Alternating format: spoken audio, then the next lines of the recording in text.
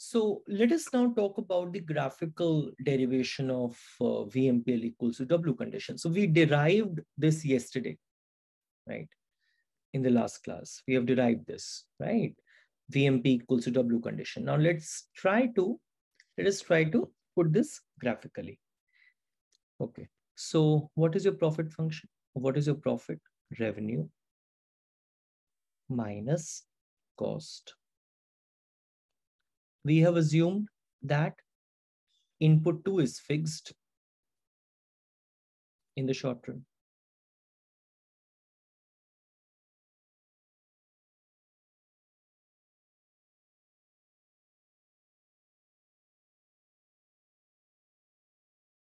in the short run, right? So can I write it like this? Py equals to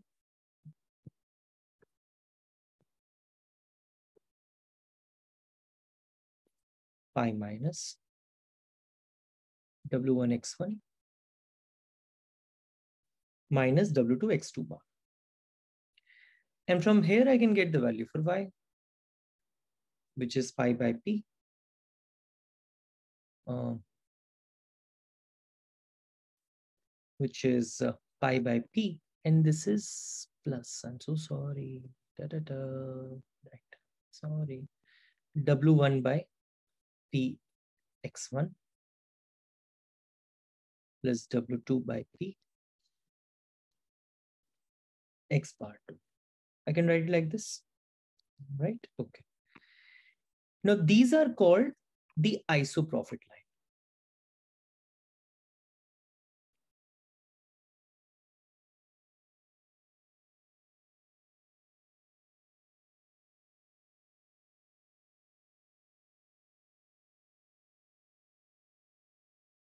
Above is called the ISO profit line. Now, what do you mean by the ISO profit line? That different combinations of X1 and X2 are going to give you the same level of profits. That is what is meant by the ISO profit line. Well, although, I mean, we can also draw it draw the ISO profit line for the varying combinations of X2 as well. But since we're talking about X2, which is fixed in the short run, our life has become a little simpler. How? I'll just tell you.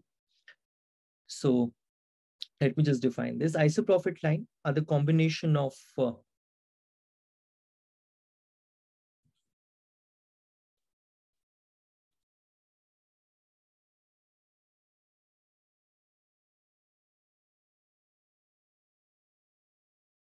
they are the combination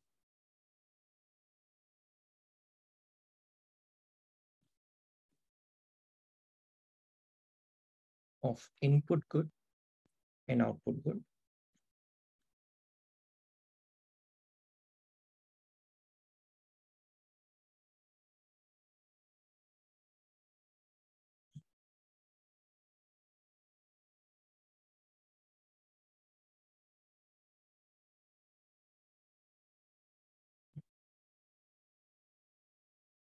That give the constant level of profit. So wherever in economics, I mean, they're using the word ISO. That means a constant. So we have seen ISO cost line, we've seen ISO profit lines. So it's like this, right? So if you look at it, hmm, so if I just, if I'm just going to draw this for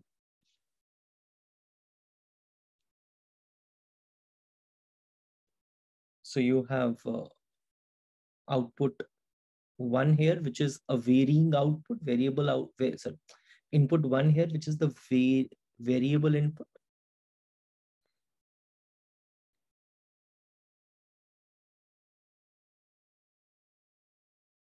And you have the output here.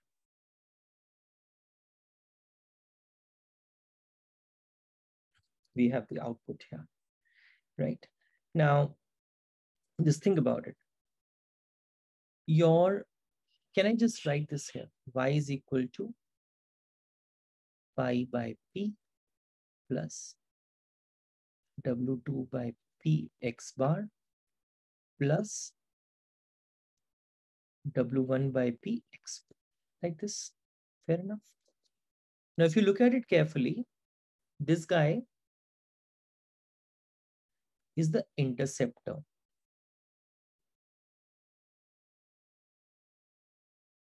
Right? And uh, this is the slope of this line. Slope. This is just a straight line, right? This is just the slope of the line, right? So you get this kind of the curve. You get this kind of the curve. So this has, this is the intercept, this intercept. So if x1 is 0, y is equal to this much. This much the level of output, right? And this I can write as x2. And the slope of this line is w1 by v. Fair enough. Okay. Now, what will happen is that uh, in case if maybe your W2 is going to increase, or pi is going to increase, this intercept is going to increase, and this line will shift upwards or downwards, depending on whether it is increasing or decreasing, whether profit is increasing or W2 is increasing or price is decreasing, whatever. But it will, when the price in W1 is going to change, then this will also change the slope of the line, right? So this is what my ISO profit line is.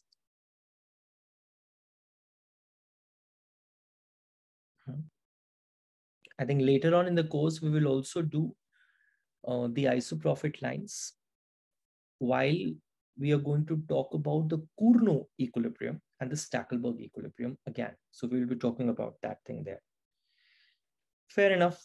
So, and this guy is, uh, is uh, the production function which I have. This is the production function, let's say. So you have the production function like this. This is what my production function is. Y is equal to function of inputs. This is what my production function is. So at that point, the point of tangency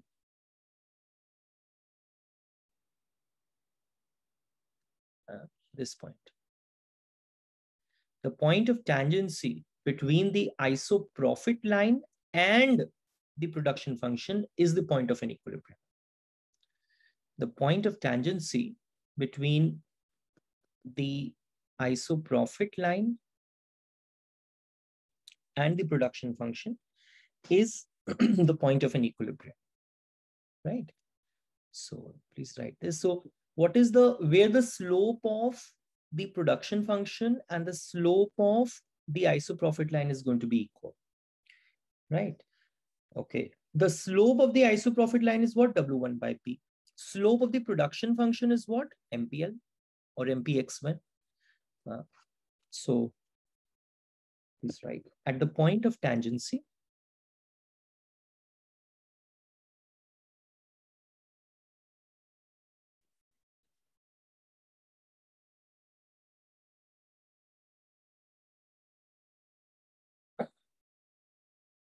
at the point of tangency.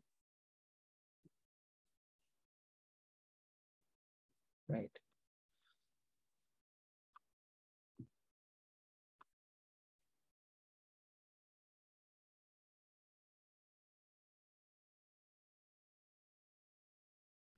Slope of production function.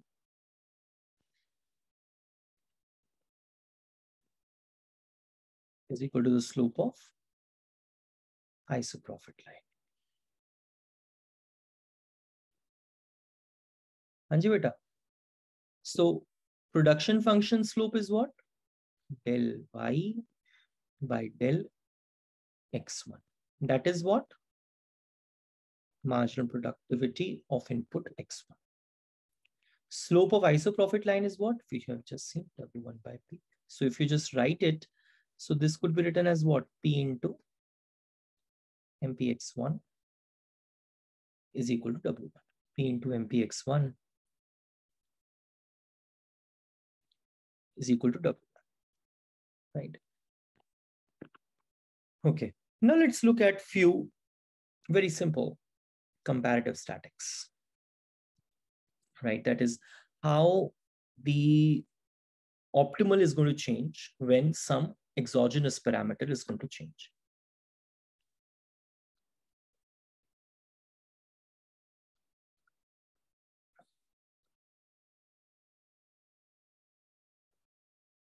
that is called comparative statics. right? How the optimal is going to change when some exogenous parameter is going to change. So W1 increases. W1 increases. That's the first case.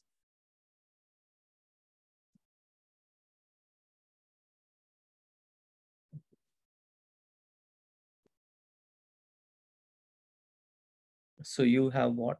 You have production function with you, right?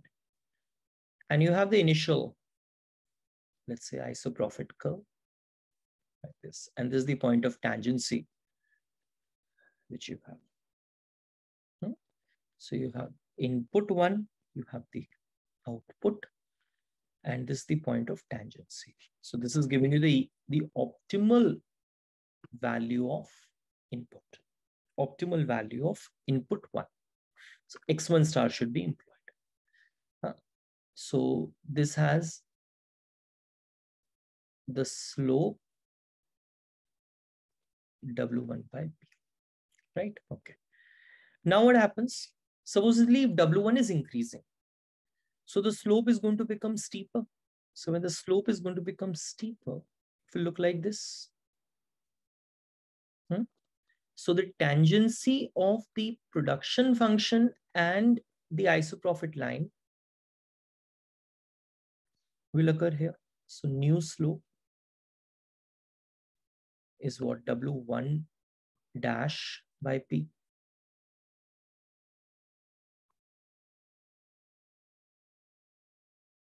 X1 double star. So what has happened is with an increase in W1, the optimal amount of input one has decreased and that that is reasonable also. So if uh, the input one is becoming expensive you should be uh, consuming less of that. You should be uh, employing less of that. So that's an idea right? So that's an idea. So it means what? The optimal level so you might just uh, write this also. The optimal level of factor one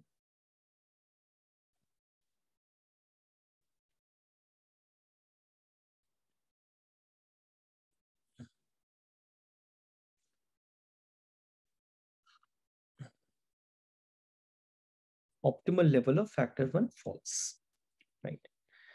So what has happened is this also means this that as the price of the input one is increasing, the demand for input one must fall. It means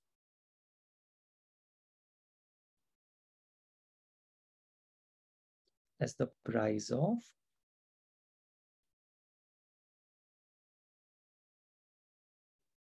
input 1 increases.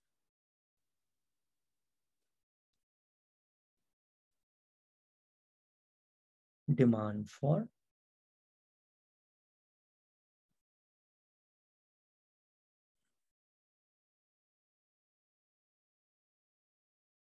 input 1 must fall. So it means what? That factor demand curve is downward sloping.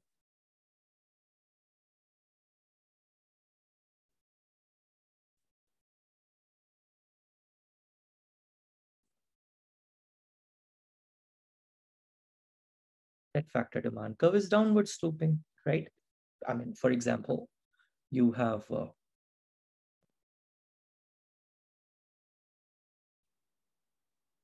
you have the employment of input one on the x-axis. You have price of input one on the on the y-axis. So when price of input one was lower, you were employing more. When price of input one increases, you employ less. So the demand for factor one is downward sloping. So factor demand curve is downward sloping. Second case,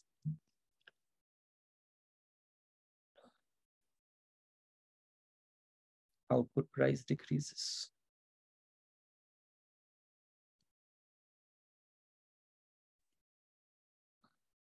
Second case, output price decreases. Now what happens in case of the output price is going to decrease? Just think about it.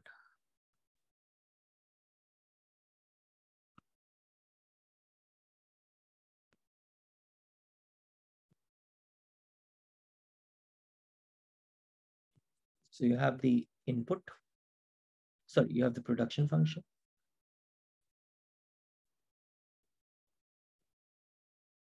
You have the initial, what do you call, isoprofit initial isoprofit. Slope is W1 by P. This is the initial equilibrium level and you employ how much? X1 star. Okay. Now, supposedly if the output price is going to fall, so when output price is going to fall, your P denominator is going to fall. That would mean the slope is going to increase.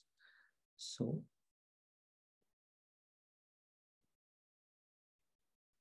this is the new slope.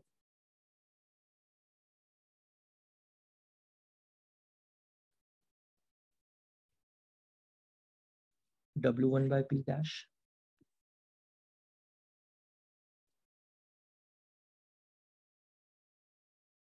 This is X1 double star. It is going to fall. Think about it. When the output price has fallen, now the, the of course, to produce a given level of output, your profits are falling. So you're losing incentive to produce more. So you'll be employing even lesser. No, so the isoprofit line is going to fall.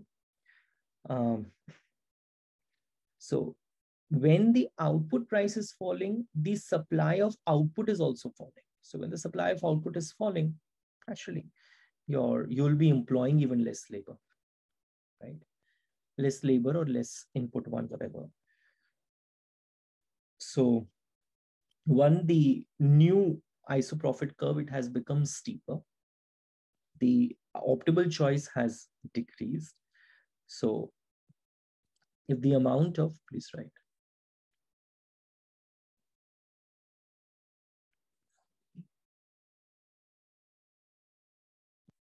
If the amount of factor one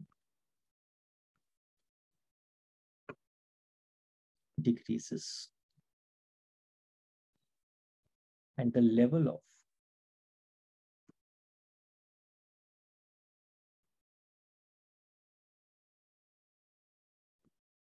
factor 2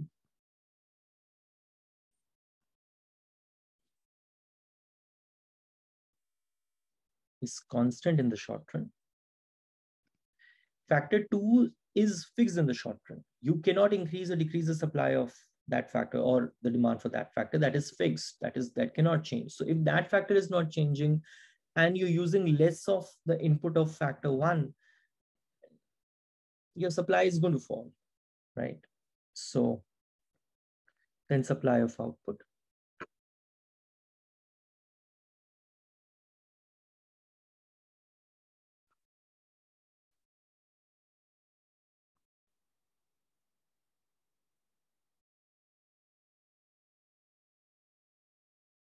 Supply of output must fall, right? So, and of course, I mean, you can also think it like this, a fall in the price of output reduces supply. It's a simple thing. So this means what? The relation between the price of the output and the supply of the output is, is positive. So when the price of the output is falling, supply of the output is, is uh, falling. So that relation between the two is positive. So that would mean that uh, the supply function must slope upwards because that relation is positive. So the price of the output is going to increase in that way. So in that case, uh, the supply of the output will also increase in the supply function.